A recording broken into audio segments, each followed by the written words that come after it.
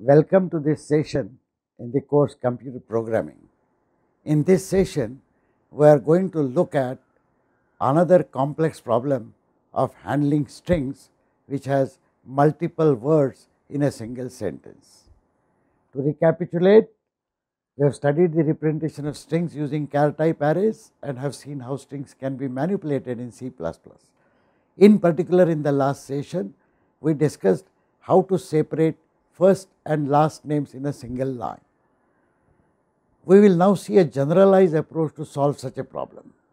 The problem stated again is to read an input sentence which contains multiple words.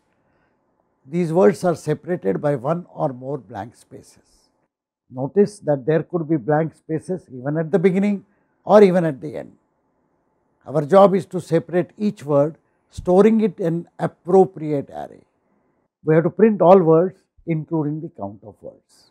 The moot question is that we do not even know how many words are there. So, would it be correct to assign a separate name for each word? The approach to solve this problem is we will read the input sentence in a char array called sentence 200 for example. We expect a sentence to be not more than 199 characters long.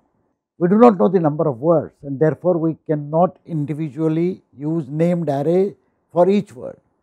What we will do instead is we will store the words in a two dimensional char array char word 50 200. Notice that this two dimensional array provides for 50 words actually 49 words each row is used to store one word. No, in fact, this array provides for all 50 words, but each word can have at the most 199 characters. Remember, a row will be used to store one word, each word is a character string and must be terminated by a backslash 0. So, a word can contain up to that is 199 characters max. The approach that we use is the same approach that we did last time. We scan the given sentence one character at a time. Let us look at what happens when we start scanning. Here is a sample sentence. Some blanks, hello blanks, world blanks, how blanks, are blanks, you, some blanks. This backslash 0 here will actually be inserted by our input operation. The input sentence will end with a backslash n which is the new line character or when you press enter but this will be replaced by our getS function with a backslash 0. So, therefore, hello world how are you a sentence with blanks all around in between and outside will look like this. What do we wish to do with this sentence? We wish to ignore the first three blanks, put hello into consecutive locations for the zeroth row of word. So, H E L L O followed by a backslash 0. We again have to ignore the subsequent blanks till we encounter the second word. This word is world which we wish to put into the first row of word. How will be kept in the second row, R will be kept in the third row, U will be kept in the fourth row. So, 0th, first, second, third, fourth rows will be used because there are exactly 5 words. At the end we will come out of the iteration and we should print all the words that we have discovered so far. This gives you some details about how we design the program. I have reproduced the word here, the sentence here again. Please note that this sentence has many words and it has several blanks. Now, I am going to scan this sentence character by character, character by character like this.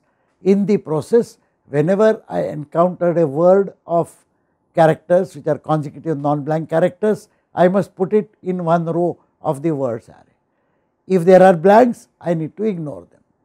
So, when we scan the sentence, let us say using an index i which is initially 0, all that we do is within the iteration ignore blank.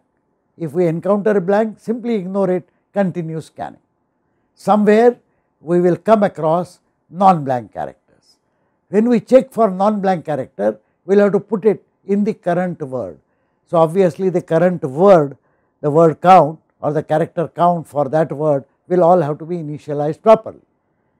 since we are going to use a two dimensional array, the current word will be indicated by an index which refers to a different row of the word when the word changes. Within a word, we will increment the character count which is maintained for each word. If a non-blank character is followed by a blank, observe here, O is followed by this blank. Current word ends, hello has ended. When that happens, we will insert a backslash 0 in the current word, reset character count to 0 because for the next word we have to start counting characters again. We will increment the number of words which is stored in a variable num words and we start the next word. Notice that num words can also be used as an index for the row of the two dimensional array word because that represents the number of words. Here is the program which will separate out all words in a sentence. Notice a traditional style commenting slash star followed by slash star. This permits us to write multi-line comments. It says that program which counts the number of words and prints them. It validates all spaces means it ignores all spaces before, after and in between the sentence. Finally, it prints all words and the word count. These are merely standard initial declarations of include statements, namespace and integer main function. We define variables and get the input. The variables are sentence which is one single sentence char array, the words matrix which is 50 rows by 200 columns. Int i is the index which we will use for scanning the sentence. Character count is the count within each word. Length num words, num words is the number of words and that is set to 0 to begin with.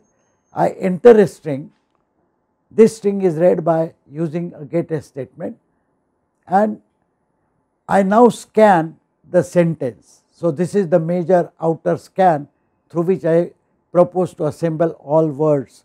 For i equal to 0, sentence i not equal to backslash 0. Notice that I need not even bother to find the length of this sentence because I have to scan the complete sentence till the backslash 0 character is encountered. Please note that once I go inside this loop at any point in time I will be looking at the ith character of the sentence. Let us see what do I do with the ith character. As we outlined in our program design, if the ith character is blank, I simply continue with the next iteration, which means I ignore the blank. If the ith character is not blank, that means I have encountered a non-blank character which must be inserted in the current word. So, what I do? The ith character of sentence I insert in the character count of current word which is indicated by num words. I increment the character count by 1 when I finish this. Ordinarily, I would have gone back to assemble more characters. However, I check if the next character is a blank or if the next character is a backslash 0. This will indicate the end of this word. Let us go back to the previous slide and examine what we mean. Please note that if this was the non-blank character which I just inserting in the current scan, the next character is a blank. Similarly, the next character here is a blank. Whenever that happens, my current word has ended and that is why what I do now here is that if the i plus 1th element of sentence is a blank or a backslash 0, I terminate the present word which means in the current position which is character count position I insert a backslash 0. This word has terminated so the next word has to start. I increment the number of words, num words and I reset character count to 0 because in the second word which is the next row of the word matrix the character count will start from 0, 1, 2, 3, 4 for a new word. That is all I need to do. When I finish this I will come out here this is the end of this if statement and when I come here I have finished the entire scan. Notice how beautifully in a single scan of the sentence I have been able to collect all the words that were there inside the sentence separated by blanks.